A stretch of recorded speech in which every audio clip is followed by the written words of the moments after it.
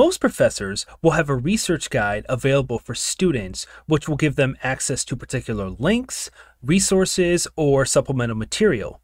To find your particular research guide, head over to our library page and scroll down to the bottom to find research guides.